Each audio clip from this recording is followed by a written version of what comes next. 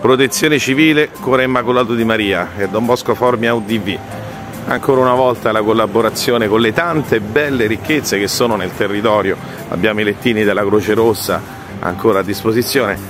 Lavora per far rendere Formia città accogliente e soprattutto verrebbe da dire interagente. Abbiamo fatto l'incontro con le fionai, non si tratta di integrare ma di interagire con coloro che passano e che ci danno una mano per tanti lavori che purtroppo noi formiani non sempre vogliamo fare e quindi si tratta finalmente siamo pronti per rimettere e risistemare la nostra, la nostra tenda dell'accoglienza qui sul Sagrato di Don Bosco.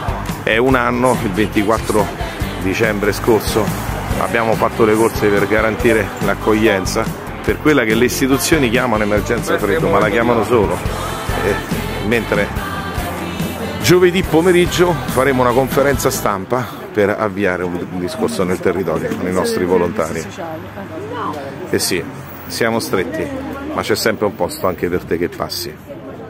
Parola di Gesù. Ecco qua. Stiamo svuotando la tenda che in modo tale che grazie la riporteremo un po' più avanti e la puliremo bene. e così stiamo preparando tutto quanto. Ecco, è ripulita la tenda. Dovremo spostare il climatizzatore.